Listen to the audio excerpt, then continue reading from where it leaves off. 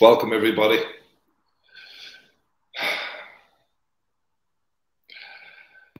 To another lovely, uh, real conversation here at Wellbeings. So, any of you are tuning in, it would be great if you hit the like button or share or subscribe because it really helps us. We have a very amazing person here today to take us on a journey. And I'd love to introduce um, Lishan and she is a mindfulness teacher. She's she works at an international school. Uh, she's been uh, what can you say? She's been in performing arts and acting and uh, modeling since she was a child. She's also a private yoga teacher.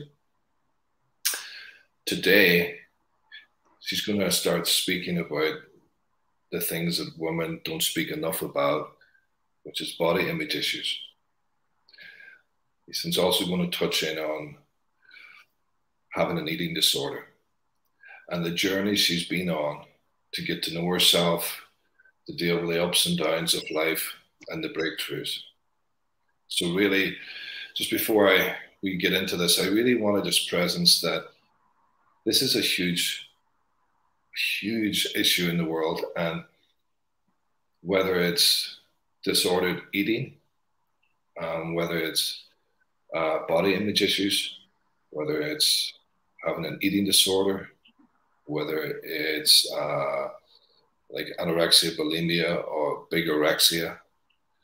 This is a huge issue that's not isolated to one part of the world. Uh, it's all sectors of the world. And I'm not a specialist in the area, but I do have clients who come to me who struggle with um, body dysmorphia and a bigorexia and some eating disorders. So I have a, a little bit of experience in the industry, but it's a, a really important um, subject to start to bridge because there's such an avoidance of deeper feelings and emotions and pain. And there's this huge sort of taboo where people don't talk about it. And it's accentualized and glamorized and also media and image and and trying to get that next perfect picture. So it's a real hot potato. And I really just want to take a moment to really extend, if I could, uh, a handshake and a hug here to to a very brave woman who's coming in to start talk about something really important. So, thank you for coming today. Handshake. yes, you're welcome. Yeah. Yeah. I'm very happy to to be on um, well beings. I mean, I'm so glad to to see that you know you're um, bringing together so many of these um, talented, beautiful, and um, amazing people who are working on themselves deeply. You know, I mean, I know some of them as well because I've met them in person in Ubud as well. You know, that's where I met you. Yeah. Yeah, it's, mm. it's this is a great place of. Uh, uh, it's a great wellness in this uh, wellness location, so we get to be very privileged with meeting some great souls uh, coming through here. So um, I'm really curious about where would you like to start to tell us about mm. the journey you've been on? Where did you start? How did you start this journey of, of you know, understanding there was there was issues, uh, you know, maybe you know, like, like, tell me a little bit about your your past, your childhood, what happened, what didn't happen. Um, what... Maybe we can start with um, eating disorders. So for me, my eating disorder started when I was uh, 14 to 15 yeah so i think that's the age when you know most of us our bodies start changing. You know men you know we start like men and women both start having like pubic hair and then women start having hips and breasts and you know men start having voice change and then you know so all of us having those bodily changes and then um, together with finding our identity. So i think at that time you know some some people did comment that oh you know you're, you're getting chubbier you know you're getting more plump. So for me having been always a very thin child you know i always um you know society always associates thin with beautiful thin with um healthy and better. So i was like oh no i'm getting fat. So i i did you know um i immediately was like okay you know what? Ah, that's my cat. Here here here. So I, I immediately was like, okay, I have to cut down on all um, so-called the unhealthy uh, things in my diet. I have to now exercise um, as much as I can excessively, you know, to, to no longer be fat immediately. So that became too obsessive, you know, a, a dangerous obsession. Yeah, rather than something that I was did with love and, and in balance and healthy. It became something like a punishment and addiction yeah and then I, I, and then you know the, the the the the thinner you became then you know i i was not satisfied i had to be thinner and then when the scales moved back up then it's like oh no i'm becoming fat. So it just became this really um insane unbearable uh, toxic relationship with yourself. Yeah and it's it's further and enhanced and unfortunately by you know the advertising industry and by by um, society or, or by friends and family around you who think like, oh, wow, now you're looking better, you're looking great. Or like, oh no, now you're looking thinner, not good. So you, know, you keep having these mixed messages around you while you are um, wallowing in your addiction. And it is an addiction, just like any other drug, um, alcohol, um, or compulsion like shopping, gaming, gambling kind of addiction, it, it, behavioral wise. Yeah.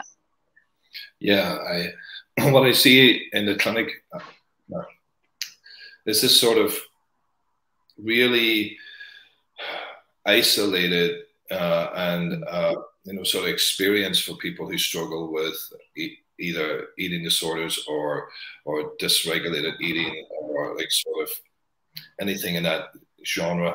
It feels like there's a hyper focus on intellectual understanding about diet as a way to keep you away from the body and away from the emotions you know and and it feels like these earlier sort of um, uh, haunting voices of hey you're chubby or you know which is really translated as i'm not good enough i'm not good mm. enough i need to be better and and just the pain of that just is building and what i found was that the separation from the pain was the intellectualization and the sort of the real focus of continual thinking about food or how to cut it, how to do it, looking at scales. And so again, this is this is something which maybe some of our viewers feel it's normal.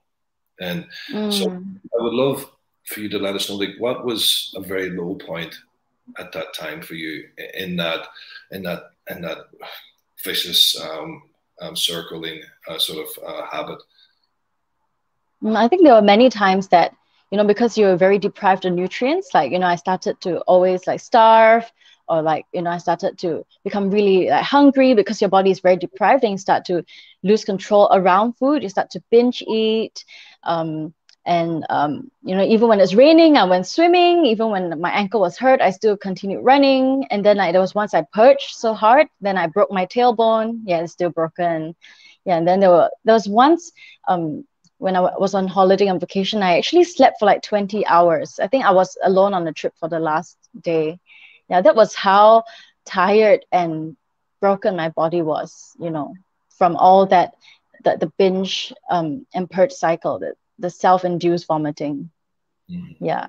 So there's a lot of shame, you know, there's a lot of um, um, self-disgust and judgment. Yeah coming from yourself that affects yourself negatively in a, in a holistic way body mind and spirit it breaks you mm. and uh, you know that's that's so true. And I, am curious about you, those early jobs that you were in in the acting or modeling industry. And and within those was there hints or uh, explicit illicit like sort of suggestions that you stay a certain weight? Or like how how did that add to the struggle for you? I think um um to to already be accepted into these jobs there's already like this look you know that people um are going for before you know you you you kind of um before they choose you you know to to be a model.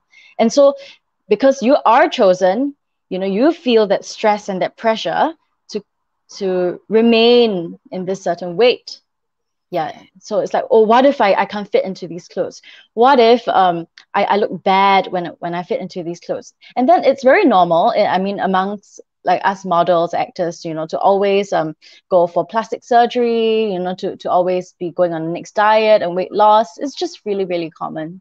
Yeah, for us to to just keep doing these like procedures like liposuction, breast augmentation, um, nose jobs, um, eyelid surgery, and going for injectables all the time. It's very, very like common for us to do that. how does it yeah. feel? like how does it um, feel? Is to change well, it's kind of like part of the job and industry, if you ask me about it. Mm-hmm. Yeah, it's like an open secret.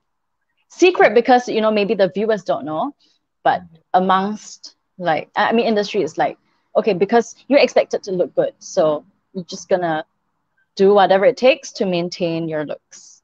Yeah, even though it's not, it's beyond like nature or yeah. I, I mean, from a young age, I think um, it's already it's, it's already the message sent to like everyone, you know, men and women that it's like, oh, okay, you, you need to um, always go to the gym, right? Th- these images and and these these um, um, messages around uh, around us are always like, yeah, being this way, having these um, certain criteria would lead to certain more positive outcomes for you. Yeah, so you have to achieve them. Yeah, to, to, to have to have better chance for yourself. Mm. Yeah, I really imagine that if there's not a strong sense of self, then mm. one gets lost in that in that uh, merry-go-round, you know, of having to think I am loved for how I look versus I'm loved because who I am. And and that cultivation of a strong sense of self, I feel, is or like uh, a lot of support can sometimes be really helpful when you're in that industry, especially when you're young, because it yes, can yeah. take you. Mm. Yeah, and that's the thing that unfortunately, you know, most of us don't grow up in supportive families or have that self love. So we go out to the world to try to find that love, you know, whether it's through our career, whether it's um, earning more money, um, having looks, uh, having people's attention from others. Yeah, so we try to gain all of that. We, we try to gain things through the world to fill our hearts, our empty hearts. Our, but but it's it's just an, a never ending um, cycle. Yeah. Yeah, it's you know for what we, I, I see in the in the clinic here is just uh, the and from my own journey, it's like it's mm. a hmm. continual it's a continual work to just keep trying to find a way back to ourselves again, back to our feelings, back to our heart, back to uh, you know noticing how we see the world and as we mature, you know, as we just remodify and who we are as we grow, or, or to want to grow more. But I'm, I'm still very drawn by something that, that really caught my attention uh, as you were mm-hmm. sharing, Maria. And it's just about what has to happen or what happened for you where you realized that you needed to reach out for help? Mm. Well, I think for me, it is just how damaging um, this chase and this vicious cycle is in terms of like the the eating disordered thoughts and behaviors. Like for me, I think my behaviors are rather under control, not 100% for sure, maybe 80, 90%, which is extremely good compared to, you know, me like binge purging five times in a day or like, you know, not like, like just doing crazy diets and, and, and things. Yeah. Um, but I, I think what's difficult is the mentality towards um, um, food and it, it's just it's just an addiction at the core of it just like any other substance or any other compulsion it is a behavioral addiction. Yeah. Because of the lack of love towards oneself. Yeah, yeah. because of a of a of an a hatred towards oneself. You know we are taught from young you know that oh this is not right about you. Uh, yeah and, and that's how you know the photographers that's how the the the agents. That, that's what they what, what they do. They, they tell you what's wrong about you you you and and that. And, and not just that it starts from a young age you know? From a young age our parents our caregivers they, they start telling you okay this you, you know on this test this is bad this is bad you work on this okay this is wrong about you. So you know you start feeling like this hole in your heart you know? Yeah. And then you want to fill it up with certain things. Unfortunately you know that that can be th- those unhealthy things like drinking smoking very common. I, I mean all these are, are things that people here or ev- everywhere do every day you know when it's an addiction but it's just something done every day. Yeah um, i remind it reminds me of a client uh, I, I, work with and she she was um, telling me about this part of her um, mind that was like uh, a tyrant always um, assessing evaluating um, criticizing, you know, really haunting her around her future mm. or what she saw in the mirror. So this sort of continual voice that, that, I'm sure got developed through family, society, and in the industry, and then it starts to, you know, roll inside ourselves. I'm curious about, you know, how is that voice? How is that voice able to become more into your experience to become more mm. loving, kind, mm. process. Because really, we're talking about, you know, you talked about, you know, like a lack of love for the self. Uh, like, what was it that started to uh, change that voice a little bit in your mind? Well, I think for me, it's having gone through so much struggle and pain from that critical voice. Um, you know, that that critical voice doesn't lead you anywhere. I mean that that hate, that depression, yeah, it, it, just le- has led me to despair. Has led me to to dark dark holes and and um, dead ends. So I, I've I've learned that it's it's um, wiser to bring myself gently um, and to take my time step by step. Yeah. You know um, back to a more loving um, kind. Yeah.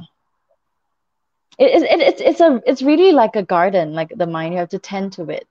You have to like prune and pick apart and and to like and to like be curious about you know what's going on. Like really treat yourself like a like a child. Yeah. I think i think teaching at the preschool is kind of um a little bit healing for me. Like uh like um, as I teach the children is kind of um, um, how to say? Like also appeasing my inner child in some sense. Yeah. Yeah, I, I can I can imagine it's like you know I, I experience this sometimes with my daughter. Mm, um, yes. Yeah.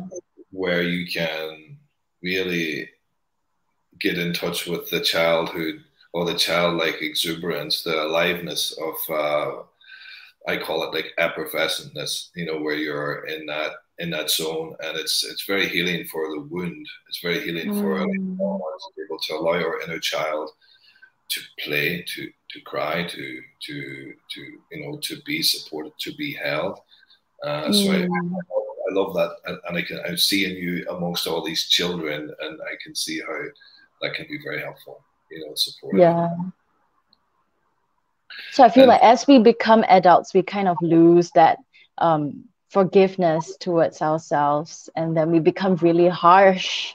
We have that very harsh voice, and yeah, I think it's important to still treat ourselves um, kindly and to to uh, look at ourselves um, as a child who, who sometimes makes mistakes and to kind of lead ourselves back to um, the, our core and and yeah you know yeah. to try to try to not be uh, back to that pure pure self where we are not you know kind of tainted or like where, where all those different voices are are um, tugging us at, at, in different directions and like be centered so like yoga has really helped me as well you know with my body image yeah mm-hmm. yeah tell us some more about how is it the is it the sort of focus and structure of yoga? Is it the is it the, the mindfulness aspect as well of you? Mm-hmm. What is that helped you kind of get steadied with uh, with that supportive uh, technique? Yeah, I think what um, struck me um, for yoga first is definitely that uh, mindfulness aspect. You know, it's it's different from all the other like exercises I've tried. Like yoga is, is not just you know any other workout. It's really like a moving meditation, which is which um, has te- has taught me a lot about compassion and it's also very beautiful at the same time you know like all these different poses they're like oh with like animal names or like warrior and like like uh, like like there's always like the yin and a yang to it. It's very philosophical in its flow. Yeah. There's just um, um a lot to learn from it just beyond the the physical postures that there's like philosophy conceptual. The breathing is also really has helped me a lot with the the mental health especially with like um calming the nervous system. Yeah. And also the focus like the gaze. Yeah. So sometimes our minds are very busy and then like you know the balancing postures help with and also where to look in each pose. Yeah, i think that's that's very good. It, it, it gives me a sense of direction and also um, sense of groundedness at the same time. Mm. Yeah, we, we, we had a, an amazing speaker uh, last week, uh, Linda, mm. and she was talking about her mm. journey um, where she was in yoga and uh, meditation that really helped her find particular facets that really helped her work through her trauma. And I think it's different for everybody. You know, like we we we journey in the world and if we're open enough, we're receptive enough, we can find uh, different things that can come together that could support the healing. You know, it's it's often not just one thing, and so through this journey of uh, having yoga and the mindfulness part, the, the the focus part, the directional part, um, what was it that was starting to also like? How did you get support? How did it start for you? Where I'm, you know, where you were not just trying to do it by yourself anymore. How, what, what were those steps to be able to get uh, someone else involved, maybe? Mm, I think for me, I'm a, I've always been a rather independent girl since I was um, I was young because I I always stayed uh, only with my grandparents on the weekdays. Then weekends I'll stay with my parents.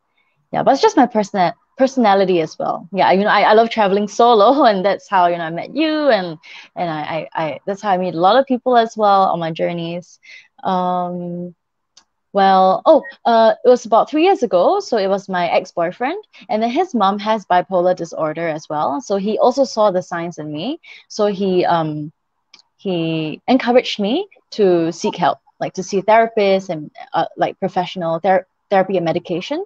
So I was like, okay, okay, you know what? I will just, um, yeah, I'll do it.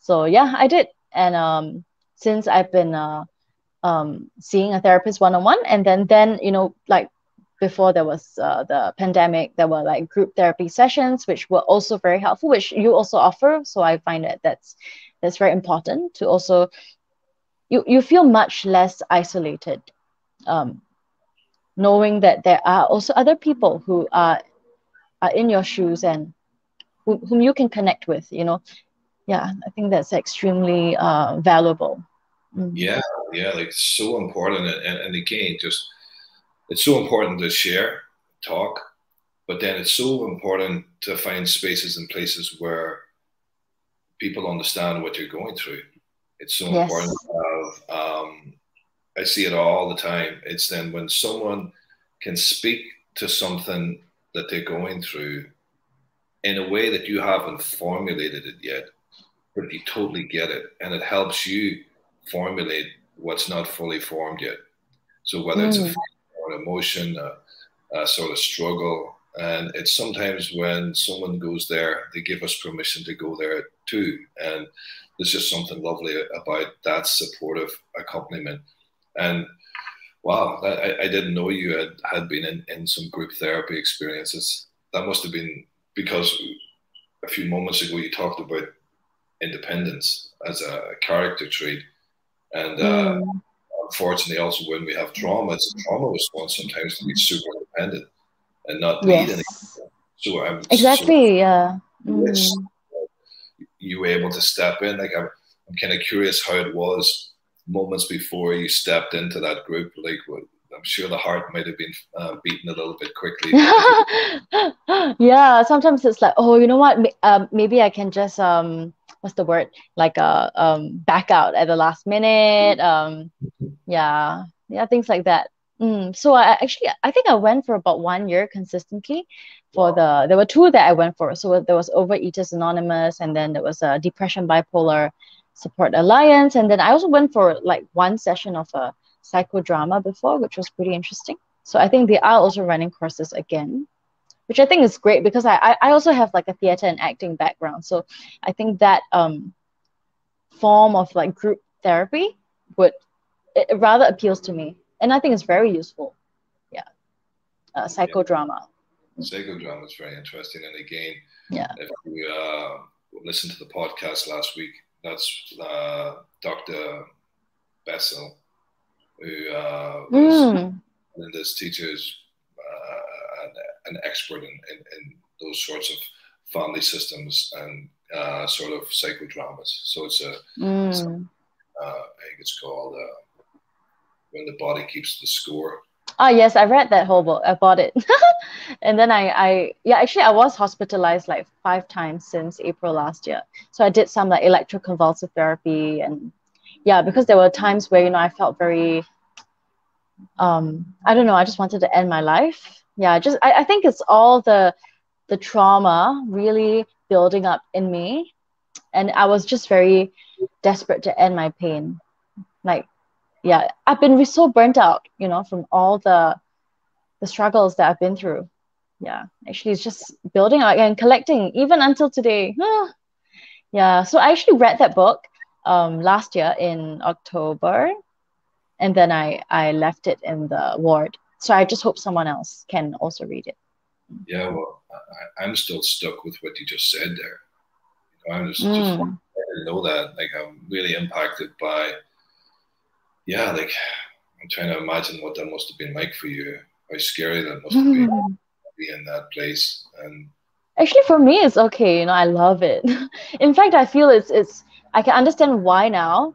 Um, that a lot of people who go to prison or are, are also in these wards are also like um, uh, they they kind of like it's difficult for them to kind of break out of that system of let's say unemployment or poverty because it is addictive as well you know for people to take care of your meals for people you, you don't have to do anything you know you just follow the activity schedule yeah, whereas for me now now that i'm here I, I i have to do everything myself it's really stressful yeah yeah i understand where we got mis misinterpreted there again I, I see how you can enjoy being in there thinking yeah. about how it was just before you did like what like how, how that must have been a very dark uh, period when all those things accumulate that would make you want to, you know, like, to reach oh, out? I think I'm used to the darkness. Yeah, to be honest, it's difficult. Even even today, even now, yeah, it's tough.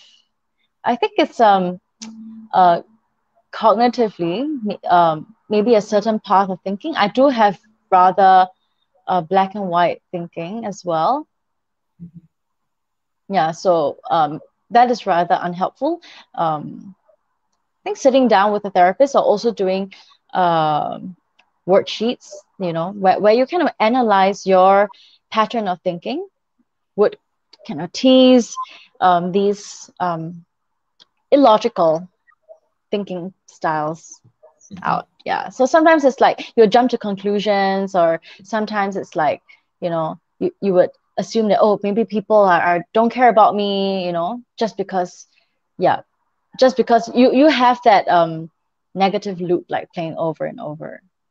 Yeah so some so um because you you can't see you can't see you know your own mind. So it does help to, to talk things out with with people. That's why like, you know group therapy helps. That's why um uh, some journaling also helps as well if you're on your own. I, I find that you know when you have a lot of thoughts sometimes just writing all your thoughts out you know unfiltered would would help. Or sometimes just reading instead of focusing on your mind you you focus on on like like that book is a great one. Yeah. Yeah you know yeah just... because we we do have blind spots a lot of blind spots.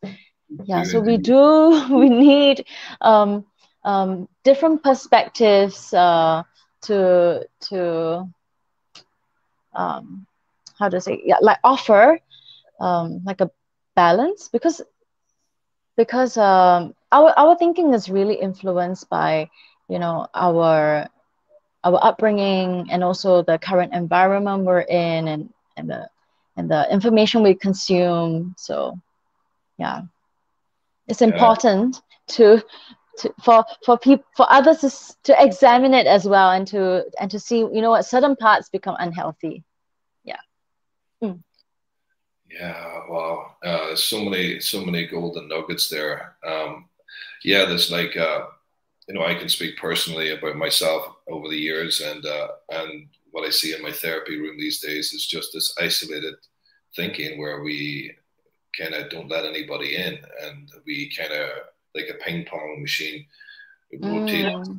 sort of um, destructive thoughts sometimes or depressive thoughts or self-critical thoughts mm. or self-loathing or whatever it is that's um, generally of the of a negative tendency uh, and it's lovely to allow someone in to be able to give some feedback and then for you to move out of the thoughts and into the feelings sometimes and really help to shape how we think and how we feel.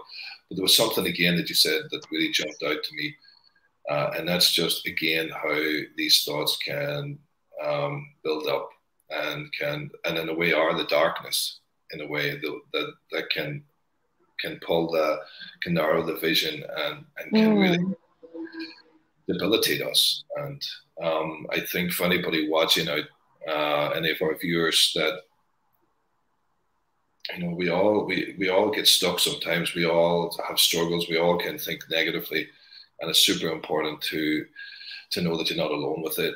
And it's really helpful to reach out to uh, call a friend who is able to listen and not need to alter you, but just listen yes, and yeah with you. Like if you have a friend like that, just they're gold, you know, because it's and if you can't find then reach reach for some professional support. It's like so important. And and during this time, like like how was your family with finding you you know like hearing it but were they supportive later on in your life were they able to understand what was going on could they relate with it or, or were they still confused by it um, actually, family wise, I've they, they they're not really like involved in my life, to be honest. Yeah, that's one aspect which I always feel like my family doesn't get me. Yeah, at all. it's a bit sad. So yeah, kind of like they're just biologically related. Mm, that's all I could say. Like they don't really have very developed um e- emotional quotient yeah. So they, they don't really know about anything.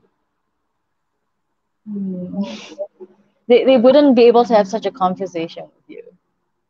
They're very different from me.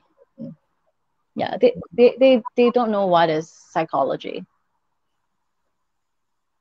Yeah, it, it's really it's, it, it's, it's like a wall. Like, yeah because um I, I think most Singaporeans they, they have very different kind of mentality they're very concerned about money, uh, image, like face, as in like um um just totally not Ubud style. Yeah. Um it, it, it's just very different, like profit, like um um uh, I don't know.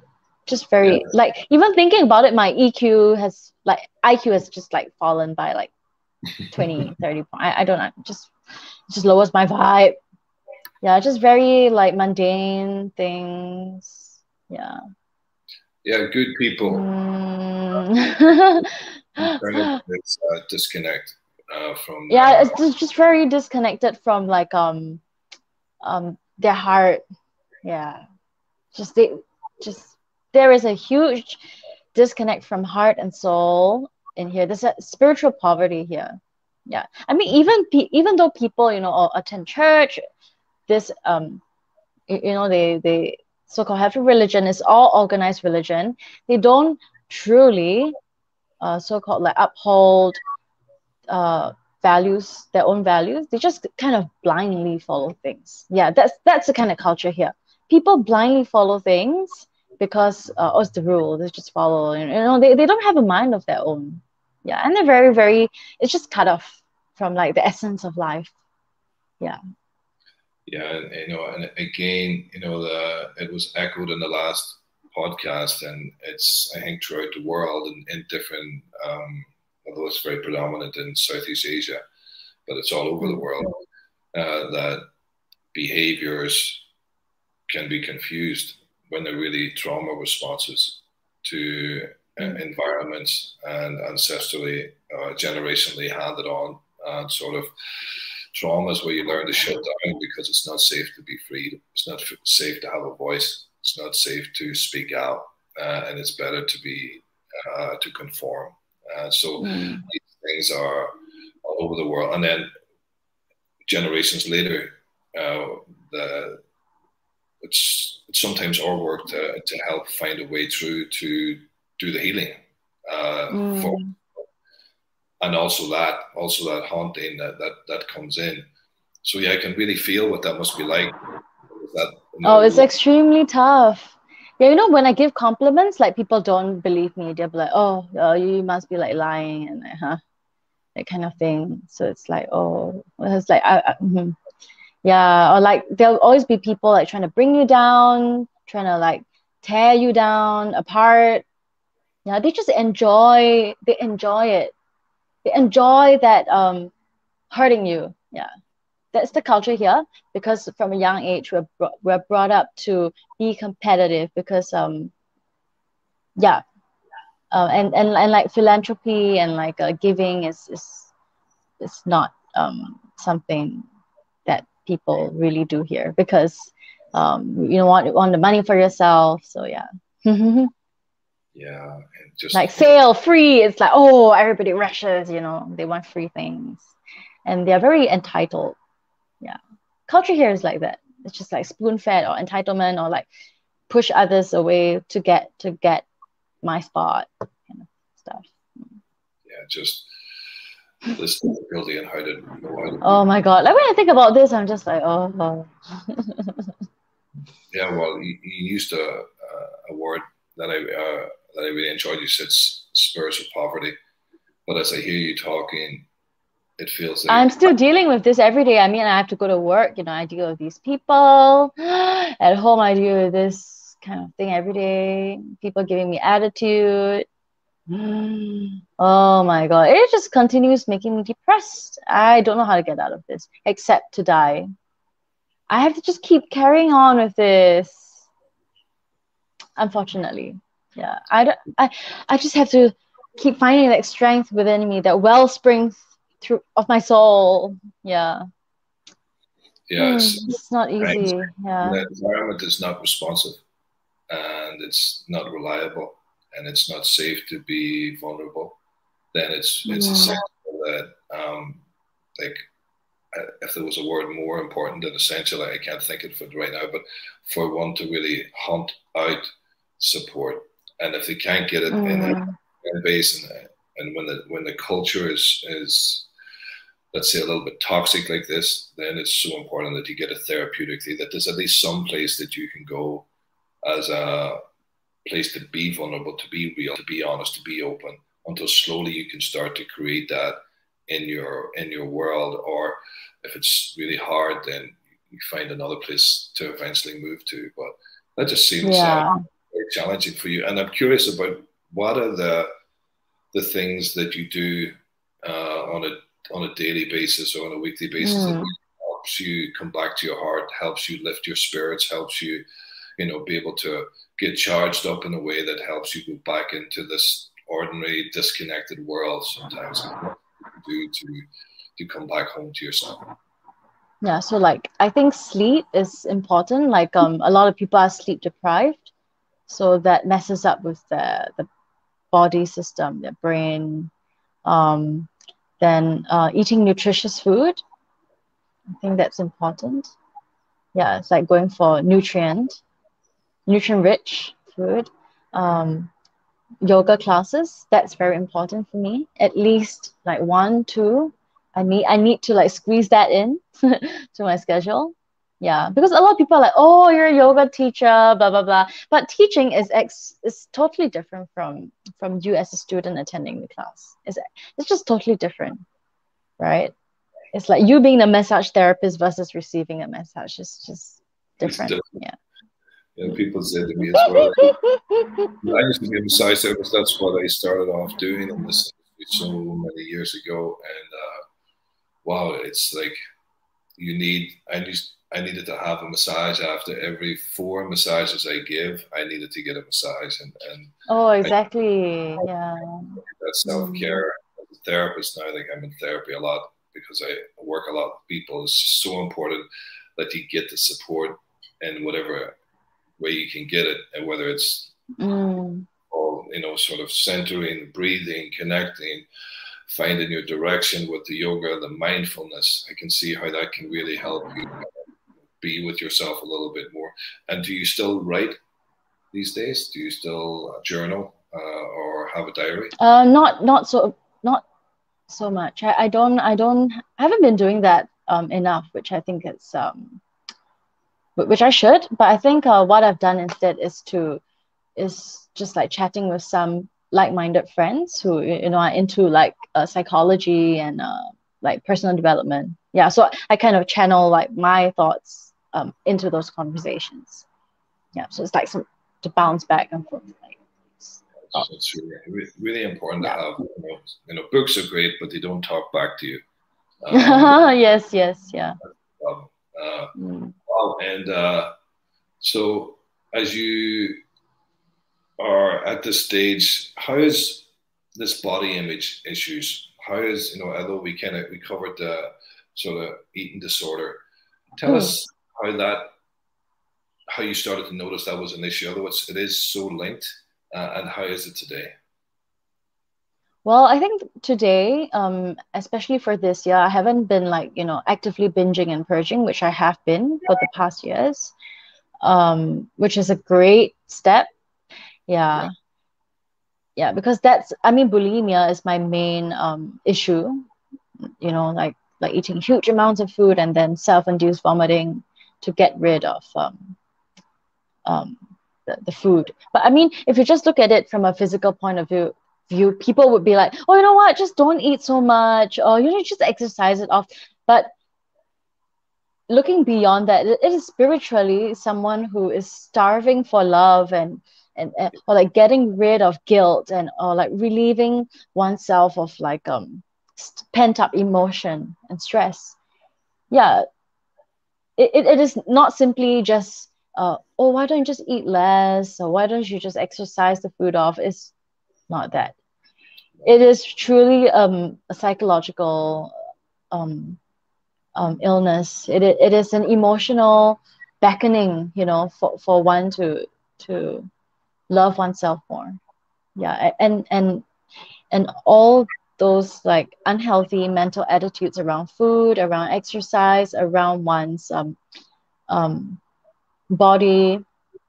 Yeah, yeah, it, it's a it's a sign it's a message that you know that we yeah we need to we need to give ourselves more attention and and um, yeah and to be like my cat you see like to to like like to really like pay attention a bit more and to and to you know maybe be less in the world. Because i realize something when i travel i don't have such body image issues as much. Yeah when I travel, I, I, I really, you know, just enjoy myself in the country. I don't really like focus so much on like how I look and all that. It's, it's kind of a different mindset. That's why I traveled so much in the past. Yeah, it's, mm. uh, it's uh, I think it's uh, a great distraction because there's lots of other things that can catch your eye. And yeah, but at the same time, it's it's the environment. Like you know, in Singapore, people judge you by your body. People, especially Asians, the first thing when when when uh, uncles, aunties, Chinese New Year, or when they visit you, they be like, "Oh, you gain weight. Oh, you lost weight. Oh, they just they just they like to comment about your body. Your body is up for um, com, yeah, up for discussion Yes. Yeah, So it's, it's really difficult, yeah, especially like celebrations. And then Yeah. um um we use food as a way to to like um as love is like, oh, I cooked you, I cooked this for you, you know. So it's like you must eat it. If not, it's like you're rejecting my love. Yeah, so it's difficult. It's very, very difficult. yeah, it's not just Southeast Asia. That's not just Singapore. You know, like that's the common. Yeah, it's like everywhere actually. It's yeah, it's people. You know, we sometimes we again. I think we all just need to learn new ways to be with one another, other than uh, what you're describing as a projection, their own insecurities onto you, and saying, "Hey, you know, you you're wrong weight or you're not too skinny or, or whatever it is." It's just there's no sensitivity there because they they haven't um, realized what the struggle is within themselves sometimes. But yeah, it's really hard and. So, wow. And if, you know, like, and you, at this stage in your life right now, you have a, a group of friends that uh, you connect with that's supportive. No, actually, I, I just connect like um maybe like I just chat like one on one with people. Yeah. And people just come and go in my life, to be honest. Mm. I'm I'm really quite lonely. Yeah. I, I find it difficult to to like have long-term relationships or like to really connect with people. Like I don't know. Mhm. Yeah. That takes time, you know, and I think you're on the right Mm. trajectory, you know, because it's like, it's when we don't have that as children. And I think this for anybody listening out here sometimes where we don't have friends or we tend to withdraw or isolate a lot of our worlds, it's also um, a reflection of, of our childhood. Often that's what we did to survive the childhood. Often that's all that was available. There was no second. Hey, like, how's your heart today? Like, how's your mind? Like, like, like, tell. It's. I, I'm noticing you're sad. It's. It's okay to be sad. Let me be here with you in your sadness. There wasn't that interest often, so it's very. And then it takes work to really Mm. be to be able to know what to do with someone. Sometimes to be able to be Yeah. with them often we try too hard and then we're exhausted and we'd rather be isolated because it's, it's not as difficult or we meet conflict and we get hurt and then we go and isolate because it's too painful so there's there's all these life struggles that if you keep on this trajectory I, I'm as you as you get more company with your therapist and, and you start to understand your own mind more it's, it's very possible to to birth that. And the loneliness you know it, it, it needs to be felt. Mm. it needs to be accompanied by by a, a time when you when we're all ready to do that. And that's what i see that, that shifts that because i see that so often. Clients being able to be very isolated and the and the, and the journey and, and for myself also the, what it takes to be able to move into be able to commune with people to connect with people to be able to know what to do with them you know and Yeah. time it just takes time Mm. and like what's what's your plans uh, in relation to you know um, being in Singapore or is there a way what would be a dream for you um, in, to do in the world what would be something because you're so skilled you're you're in the uh, sort of acting modeling yoga world and then you're also like a mindfulness teacher and you work with kids like what would the what would the future look like if you could paint it?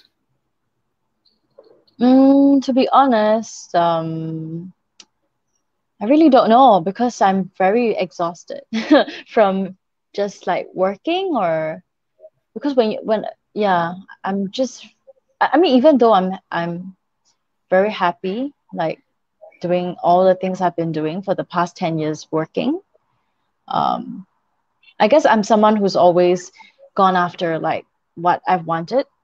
Yeah, I, I I'm a go-getter, so Mhm. yeah like wh- which countries i want to travel to what jobs i want i go for it so it reduces i, I don't want to like regret things so i try my best So um exhausted, I can understand. i think for me i'm exhausted so yeah i, I just want to Yes. like sleep more and just be with my cats, which is what I do actually.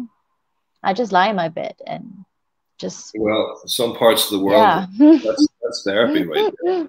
Just uh, yeah, big heap teaspoonfuls of oxy, you know, tocin from the cat and uh, and rest time feels feels good for the body. And yeah, I have, you know, I just want to before we come to the yeah end. because I um yeah I, I think like balance because I, I don't want to like burn myself out more. Uh, even though I do have a lot of talent, people take advantage of my talent. They, they know that I'm passionate. They know I'm talent talented. So I get requests every day about this, about that. So um, and they take advantage of my kind-heartedness. People know it, so they, they just do that all the time. So um, I'm very burnt out. Yeah, I, I have to be uh, more discerning um, in terms of what I uh, choose and who I want to work with. That's yeah, but I would um, prioritize my health, especially my rest and my mental health above everything else. Yeah, my my alone time. Yeah, like prioritizing like you know yoga. Yeah, I think at, at the at the end of it, you know, um, I have to be okay with my days.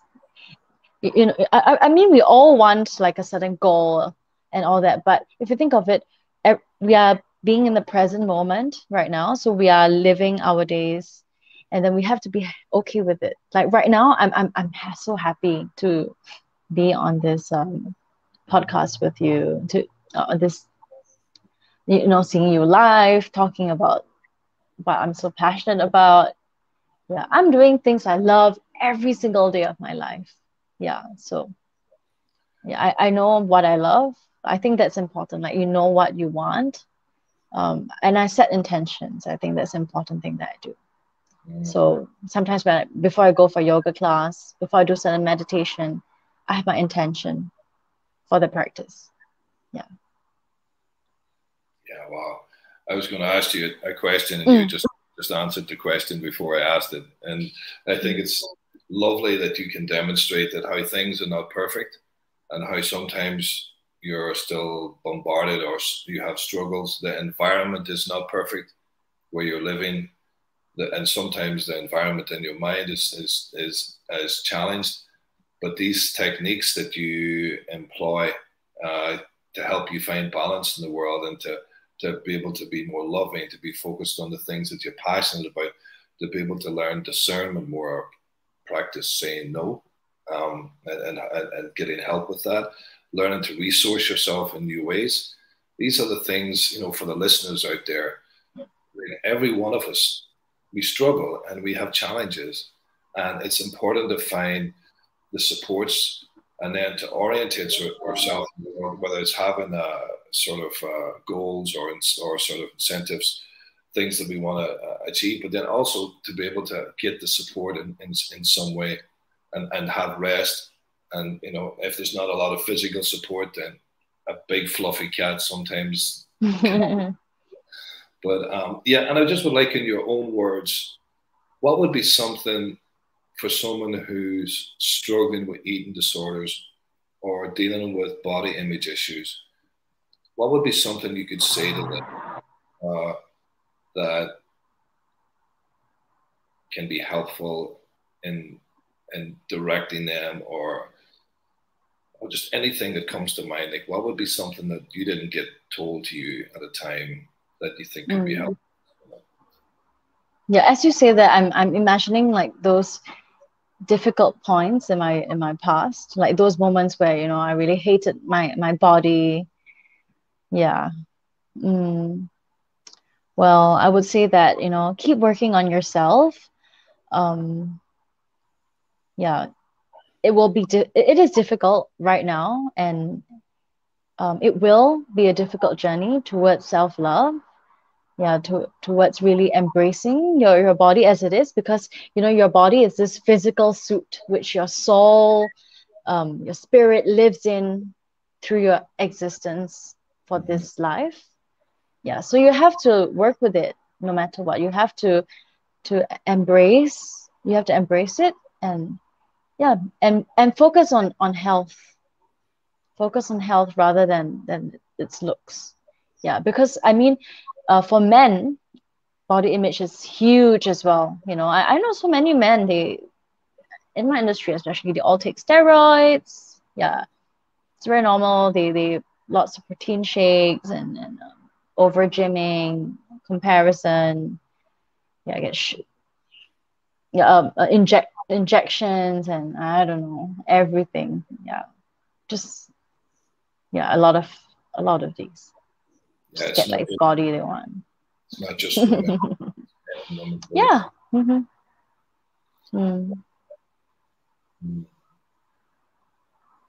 Yeah, and, and I, I mean like I'm rather passionate about like men's like mental health as well because like uh in terms of suicides like 60 like two thirds of suicides are men you know like so many men i mean when i talk to them they are like really repressed they they feel that they don't have um, anyone they can talk to about their feelings. Yeah because men you have to be stoic right? You have you cannot like sh- cry. You cannot like show your so-called weak side. So it's it's very it, it's stifling. Yeah. Yeah it's it's difficult for for women and it's difficult for men to learn to be vulnerable and authentic and to be seen being vulnerable and authentic. And um, and to learn the relief that can come when you can allow yourself to be held. And um, yeah, and this problem with body image, you know, because I work within the industry, uh, bigorexia is a, a, huge thing. I work with my clients, which is uh, the uh, the sort of need to be really large, and what they see is only them being small. So it's this very confused state. Uh, and women have it on the other flip side where they think they're big, uh, but yet they can't see that their real size sometimes. So mm. all these uh, different things that, that that really challenge the mental states. Um, we're going to have some future podcasts specific, like really specializing in, in different areas within the, the fitness industry. Um, but I'm so moved by your honesty today and your ability to to just be a ray of light in the midst of the imperfect land, uh, imperfect environment where there lacks support and on many levels. Culturally, in my opinion, is heavily traumatized. That that can't or don't don't know how to be sometimes in their hearts or to be able to be be, be to be in, in, in deeper mm-hmm. connection. I know I've been there. I've been in a lot of Asian countries. Sometimes this is the case, and and how you're shining in, in your own way through it. And some days I'm sure you don't feel like that that that that you shine, and then how you've learned to take care of yourself, and and still uh, days when you don't get it right and when you do feel bombarded. And just to come here and to be able to be open and real to women who are suffering in the same way or, or they can identify with some aspect of this. Uh, it's really an honor. And I think it's really important for men and women to speak out and to be honest. And uh, the, that's the medicine right there, like what it takes to be honest. And thank you for being an ambassador of that on our show tonight. And uh, I want to thank you. Thank you so much. You're welcome. Yeah, I'm so honored to be on your show as well. Woo! Yeah, I'm I'm really really happy to like share about this today. So, yeah, you, you've done so much for me and for like everyone else you've touched. Yeah, very much. We're just planting some seeds here, you know. Forest, yeah, yeah. and just just before we get started, you know, uh, you know, Lishan was was running just from. yeah, I was coming from like a shoot, yeah, like a film. Totally yeah. uh, on point, uh, but in, in, in, the busyness, and she made it, and I yeah, I, I, mm-hmm. I, have to, I have to. Woo! get you get it done. Um, mm. But um, yeah, it's, it's been it's been a real honor. Thank you and and, and uh, I wish you'd take the same now position as your cat and rest And thank you for your Day to be with us. Thank you, everybody. Yes. Mm, om Shanti Shanti Shanti Om. Mm. Wow, everybody. So again, if anybody's listening who is either struggling with uh, body image issues, uh, sort of eating disorders, or you know somebody who's struggling, you know, like, please reach out to us or reach out to, to get support because it's not easy in there. But there's a way that you can find uh, help and relief and, and understanding. Um, so yeah, we, we can't do this by ourselves. This this thing called life. Um, so and again, everybody, for those who are feeling a bit stiff in your chair, who feel like you need to limber up a little bit, just reach out and uh, hit the like button, uh, share button, and so, and the subscribe button if that's the case. And you know, because it really helps us and it improves our algorithms and it helps reach more people. And uh, yeah, thank you everybody for tuning in and be well, be safe, and stay connected. Thank you.